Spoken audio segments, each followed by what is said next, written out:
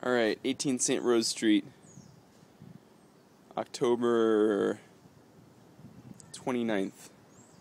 That is a possum in our trash can. It's big. It's really big. In case you think it's dead, give it a minute, it'll blink. I promise. Blink for us, baby. Come on. Oh, he moved his head. You want to blink? Look at his mouth. His mouth is open right now. Which is what made me think he was dead earlier. Come on.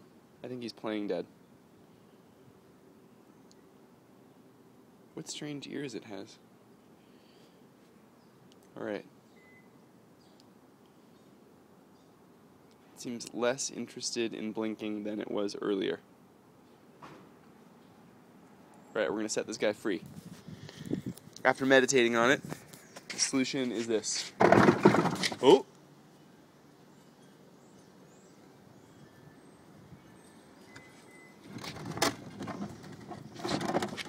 I think the solution is to tip the garbage can over, but uphill, so he can run out while the trash does not spill everywhere.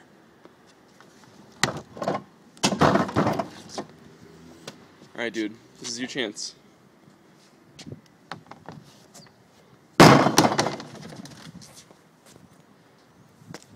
There he goes. There goes our possum friend under my car. All right, let's let's just see if we can get a good shot. There he goes. There he goes. That is a big animal. That is a big, big animal that was in our trash can.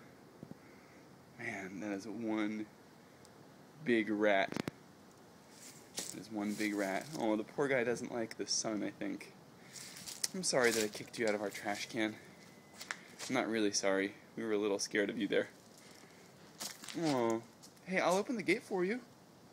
Man, that's impressive. There he goes. There he goes. Goodbye, possum friend. Now he lives under the porch.